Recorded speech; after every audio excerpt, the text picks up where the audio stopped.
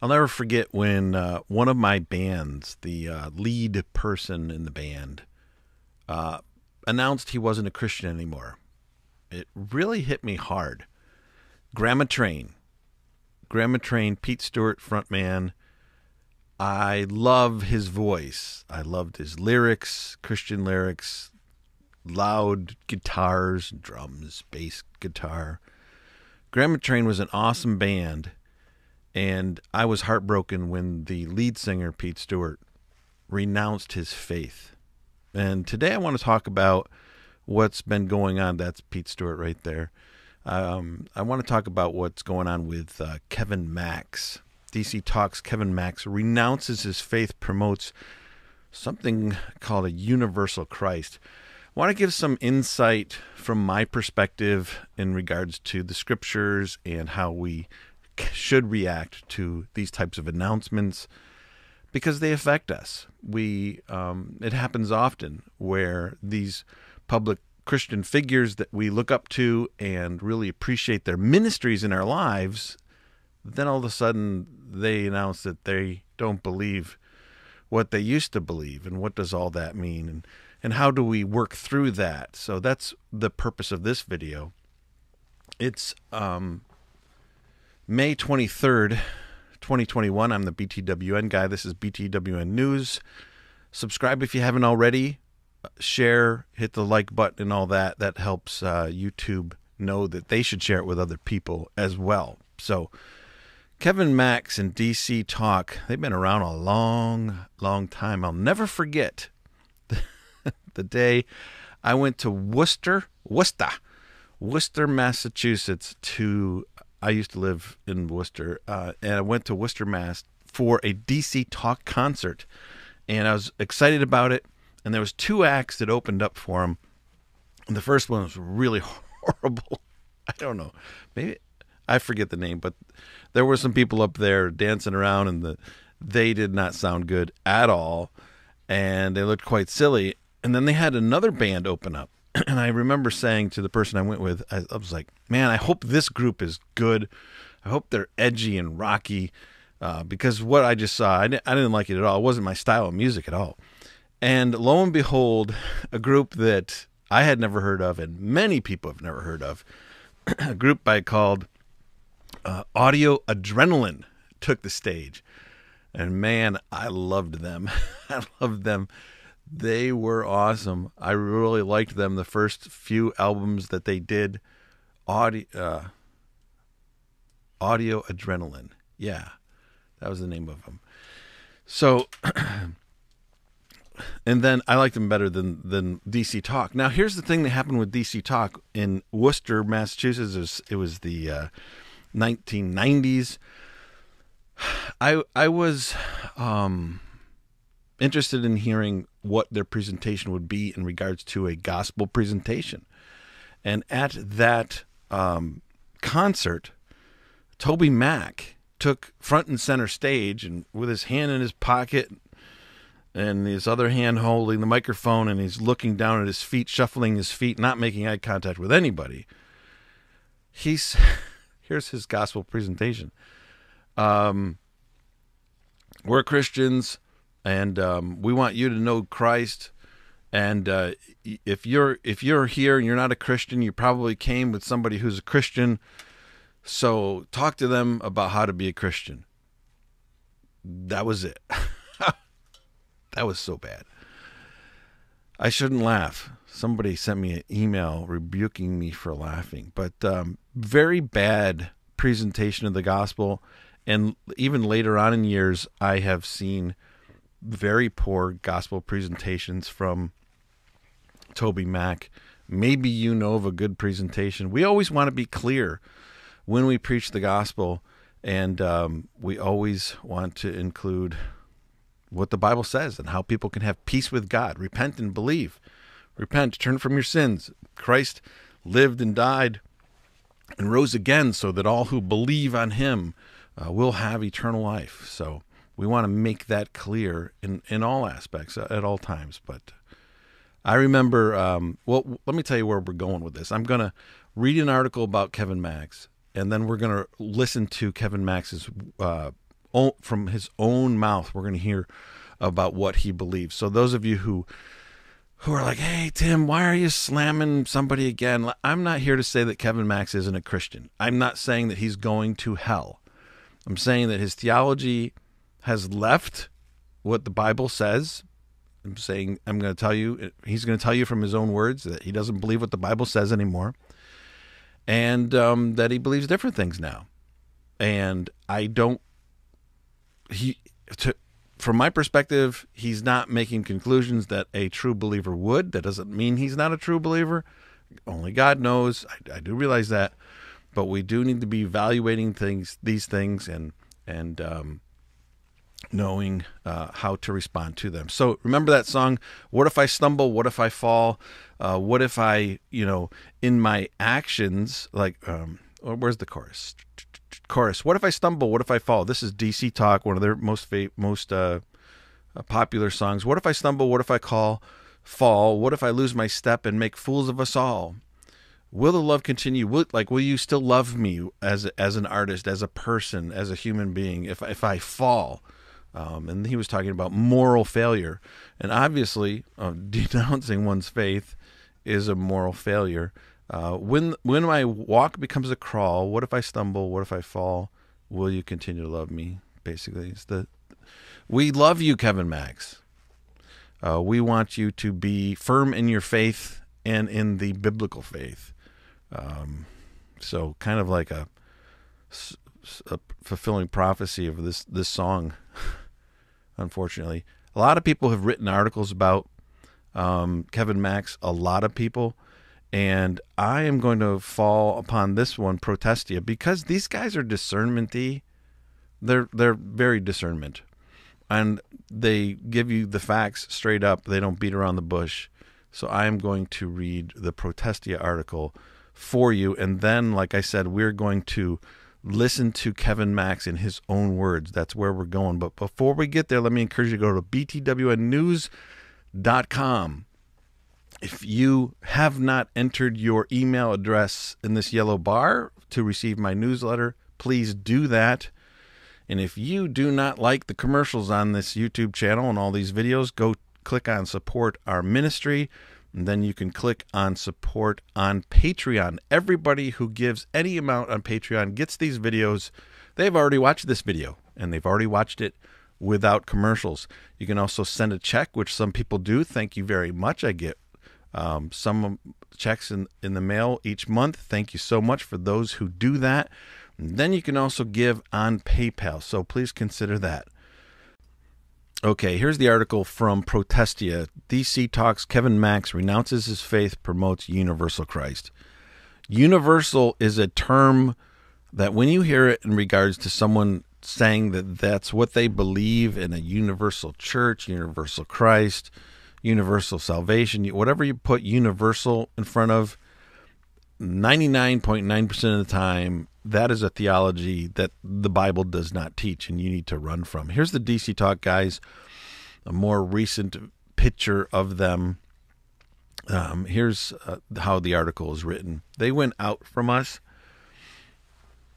but they were not of us. For if they had been of us, they would no doubt have continued with us. But they went out, that they might be made manifest that they were not of us. 1 John 2:19. Meaning when somebody walks away from the faith, denounces their faith, they were never of the faith. We believe at this YouTube channel that when you are saved, you are saved because God saves you and he doesn't ever let you go. he doesn't ever let you go. Uh, he never unsaves you. Ex Jesus freak Kevin Max has announced on social media that he considers himself an ex evangelical, ex evangelical, and that he has been deconstructing his faith for years. Deconstructing, another bad term for all intents and purposes, revealing himself to have become a progressive pagan who has renounced Orthodox Christianity and now holds to some weird form of belief in the quote unquote universal Christ. Max 53 who is best known as one third of the trio DC Talk, has spent the last year taking pot shots at quote unquote narrow minded judgmental evangelicals. And he got the ball rolling to an even greater degree on Twitter when he said, Hello, my name is Kevin Max. I am an hashtag exvangelical. He followed that up with a few more points of clarification, writing, I've been deconstructing, reconstructing, progressing, whatever you wish to call it, for decades. I've been in the outsider misfit, misfit seeker club for a long time now. Thank you for welcoming me in, but I've always been here. Happy Saturday, y'all. Thank you for your comments. He, he got a lot of heat from his tweet, and some of that is frustration, a little bit of a pushback on that. Lest there be any doubt, the singer whose Twitter bio describes himself as a leftist, mystic, and liberal also came out as a pro LGBTQIA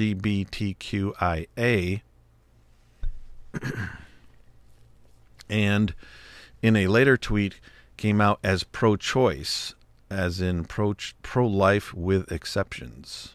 Well, here's his tweet. this isn't troubling.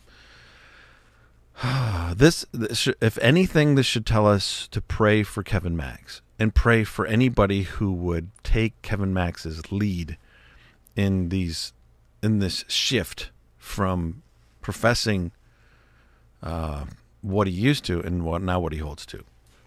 His tweet: anti-war, pro-peace, anti-hate, pro-love, pro-LGBT GTQIA, pro BLM, pro open mindedness, anti narrow mindedness, pro utopia, anti white nationalist agenda, pro equality, pro vax, pro music, anti one percenters, pro poor, pro misfits, pro Jesus, etc. He further posted the song lyrics from a recent album explaining that it encapsulates where he is right now spiritually. He says he still believes in Jesus, but it's pretty evident it's a deity of his own making, according to the lust of his flesh, with his talk of the glowing universal Christ. So here's a song to clarify his position. Like, this doesn't clarify anything. It just really kind of is confusing. But this is his upcoming album. His upcoming album is Sad Astronauts or Astronauts Sad. I don't know. Here's the song It's okay to be estranged from everything that you were taught, and it's okay to unpack all the hopeless baggage that you bought. I know the sun never shines in the same place twice, and I know that life is better with a trusted vice. But you will change when you cave to the universal Christ. And it's okay for you to lose the shame from all that church abuse, and it's okay for them to see you don't believe in man's inerrancy. Uh oh. Man's inerrancy. It can only be referring to um, believing that scripture is written by man and not by God. That is that that's really troublesome. I know the sun it never shines in the in the place you hide. I know you think it's better shrouded in secret and lies, but you'll change when you embrace the glowing universal Christ. Ay, ay, ay, ay, ay. Hmm. Sad. It's really sad. It's really unfortunate, w- folks. When you when you say, "I don't believe Scripture anymore," I don't believe all of Scripture anymore. You've just lost your your whole foundation for believing anything.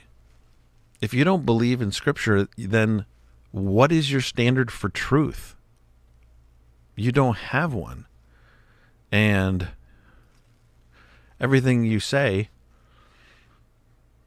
uh, could be wrong, is wrong, could be wrong. You could be right, you could be wrong, but you can't know because you have no standard for truth. Here's um, a 45 minute interview he did, Decent Christian Talk podcast. This is from 2020. And they just asked him, What do you mean by de. Uh, what is that term? Well, anyway, what. De, decomposing, de, de, uh, deconstructing. That's it. Sorry, folks. Deconstructing. What do you mean by deconstructing? What, what what do you mean by that? So here's his answer, and we'll listen to a few minutes of this, and I'll give some comments. Yeah, um, I like to call it deconstruction, reconstruction, because you're always. I mean, any person that's really changing um, every day, which we do, you're going to deconstruct or you're going to reconstruct. So it's a combination of both of those things. Um, um, God does not change. God does not deconstruct, reconstruct. I've been deconstructing for decades. You know, I've never really, I've always been progressing, as you can say, and then sometimes I regress.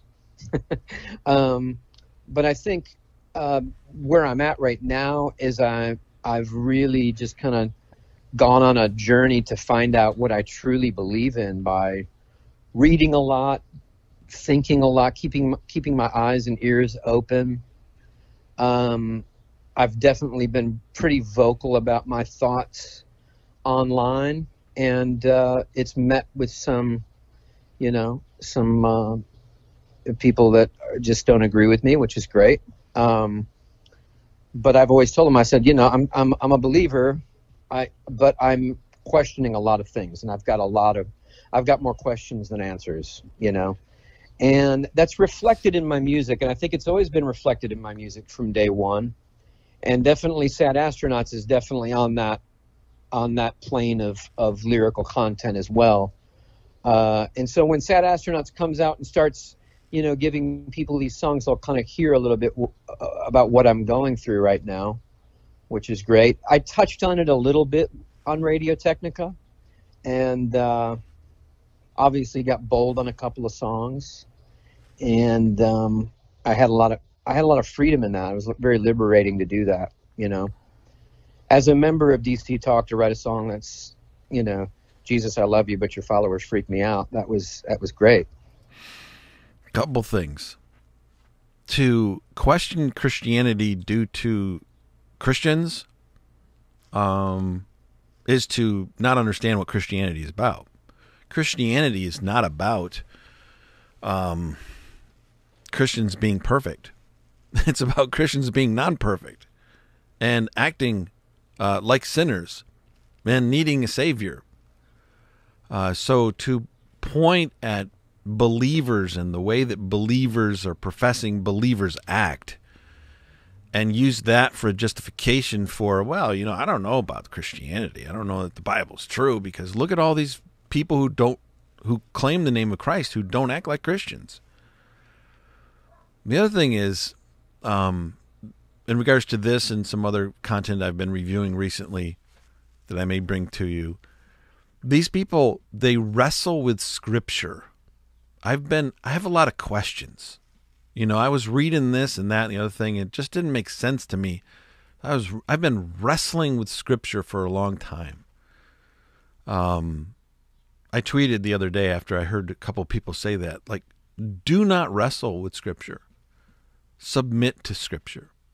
And this is I believe what's behind a lot of people who come to the conclusion that the Bible's not true. They refuse to submit to Scripture. Scripture is quite binary. There's it's black and white, and it's some of it is difficult to understand, but you know what the meaning is.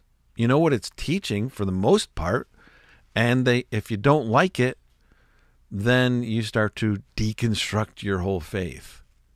Do I really believe this? Do I really look at look around me and look at the people around me and the experiences that I have? Is does is the Bible true? And and then it all falls apart when you give up the authority of Scripture. It all falls apart. Don't wrestle with Scripture. Submit to it, whether you like it or not. You know, um, yeah, because so, I meant it. it, yeah. Listen, it, it, it makes me nervous when anybody is um, so black and white in their faith and not willing to recognize that.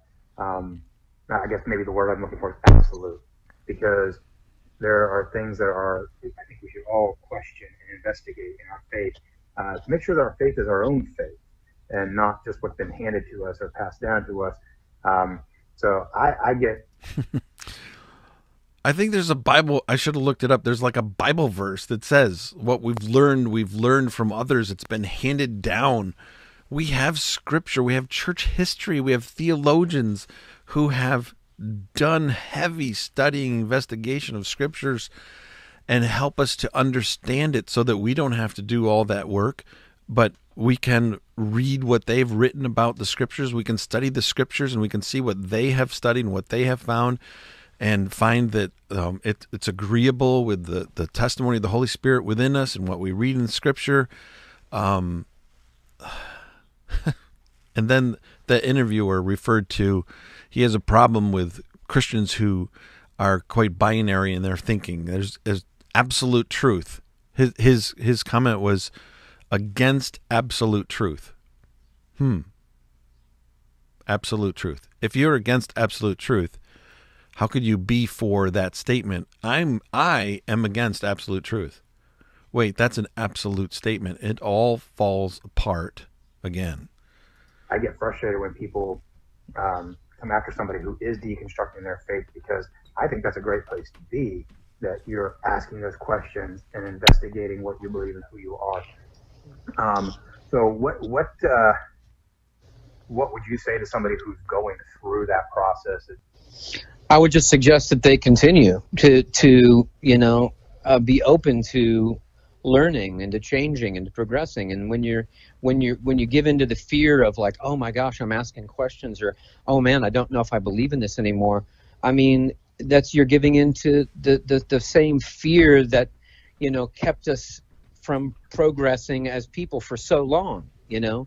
It's it's been um the, the you know the the totalitarian fear that's constant in my opinion, in a lot of evangelical churches, you know, have made people regress over time. And I feel like anybody out there going through it, they should just embrace it. And you know, if they're a believer, they should they should have these deep conversations with the God they believe in and, and really, you know, struggle with it. Talk to them about it. You know, I, I believe in, in, in a God of the universe, and I believe that he can hear me, and that and that in itself is just plain. Con- and and I would ask Kevin, well, how do you know, like when you pray to this God that's not the God of Scripture? Like, how does he talk to you? How does like how do you know? Like, this is just a feeling inside you that, oh, like the article said, he's trying to co- become comfortable with a with a God that he likes.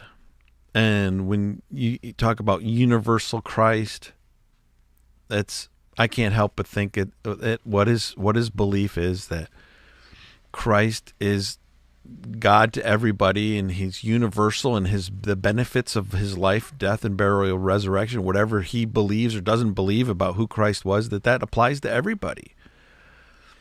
No matter who you are and uh, he probably has a really super low view of the doctrine of hell and judgment, eternal judgment, because that's uh, sounds like where he's going. Kind of crazy, but if I believe that, then I truly believe that he cares about my progression and, and asking questions and why if he if he's thrown out scripture why would he believe that this universal god cares about him he's got no reason to think that if he has no standard or foundation um, from Scripture. Folks, God exists and he has spoken. Okay? That's the foundation of, of what I think in regards to Christianity. God exists and he has spoken, and that speaking is in Scripture, and He's revealed Himself, and that's how we know what is true and what is not true. Wanting to know, you know, uh, what is real and what isn't real, you know, and I don't think the God that I believe in is going to, you know, just all of a sudden ignore me because I don't believe every single thing that's written down somewhere. You know? And that is a reference to Scripture. Since I don't believe what the Bible says anymore, I don't think God is going to abandon me. No, I don't think God's going to abandon him either. I think that that God is going to deal with him justly and if God has grace on him, he will save him or he has saved him and he'll bring him out of this utter pit of confusion and uh, anti-Christian thinking. We can we can pray and hope for that. You know. Would you say that this theme, this theme of deconstructing, uh, parallels the theme for the Sad Astronauts debut? Um, yes and no. I mean, Sad Astronauts is is is really again, it's a 50-50 thing. It's Eric and I, and so. Okay, so he's going to go continue on about his album that may be out already. Sad Astronauts.